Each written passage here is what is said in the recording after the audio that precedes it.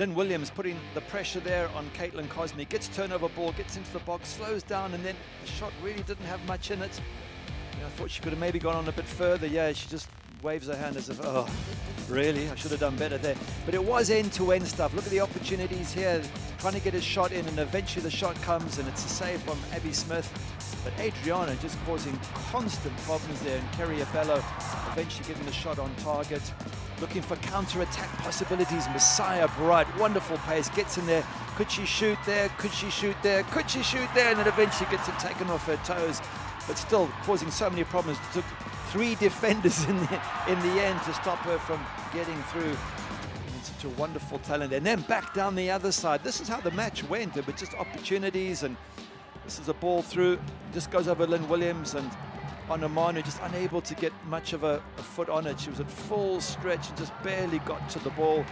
But again, balls in dangerous areas. And then back the other end of the park, Marta such skills, looking for opportunities, and there's a long-range shot. This one fairly comfortable for Abby Smith. So yeah. And here comes Marta. Marta with a step over and a shot.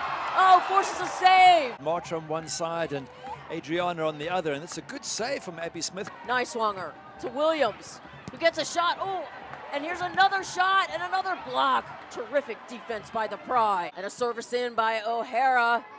And there's, oh, beautiful save by Kaylie Collins. That one almost almost caught Collins off her line and sailed over her head. This ball in is meant obviously as a cross and it just sort of overextends and goalkeeper has to move really well. Orlando plays the ball back to Kaylie Collins. Who, oh, oh, that's a problem. Kaylie Collins, Lynn Williams, will she take a shot at the goal? Oh, it's a beautiful block. Oh, Unbelievable Cosme with the block by Orlando. Then Williams takes it off the toes of, of Kaylie Collins. Head up, she's looking for options.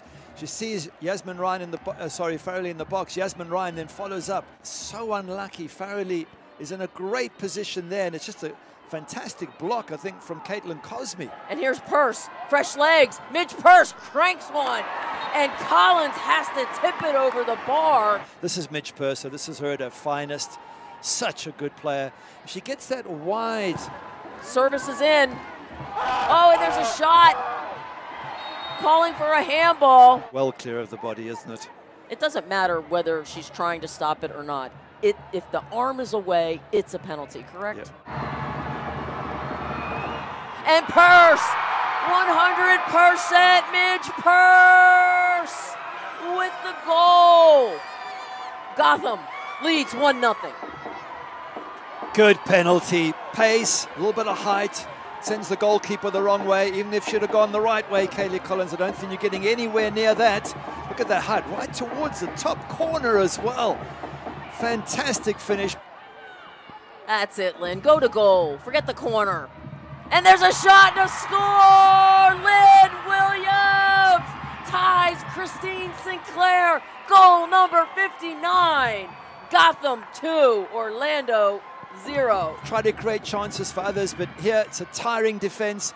She just goes in, dives into that box and just bends it around Kaylie Collins. Fantastic finish. And Gary just called that final whistle, and there it is, your final score. New York, New Jersey, Gotham 2, and the Orlando Pride 0.